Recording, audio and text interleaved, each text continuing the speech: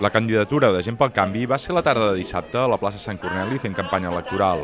El seu cap de llista va explicar com s'han apropat els electors aquests dies i va destacar que, de moment, la campanya s'està desenvolupant amb normalitat. Doncs, bueno, la veritat és que estem força contents per, la, bueno, per tota la, la quantitat de gent una mica doncs, que està passant, lo, que la, una mica estem informant del nostre, que és, quin és el nostre programa, ja veiem acceptació per part de la gent, ha estat sent una campanya també tranquil·la, que penso que, que és bona, de col·laboració entre tots els partits, i això doncs, cal, penso que cal remarcar-ho.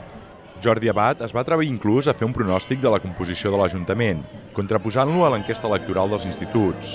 Així, va donar com a vencedors a Convergència i Unió i Esquerra Republicana amb quatre regidors cadascun, seguits del PSC amb tres i dos regidors pels altres partits, CUP, Partit Popular i Gent pel Canvi. Per la, la pròpia llei GOM, doncs jo penso que és molt difícil que hi hagin, vamos, que treguin, que tregui Esquerra sis regidors, dir, jo tinc molt clar que la, la porra serà 4-4, eh, 3-2-2-2.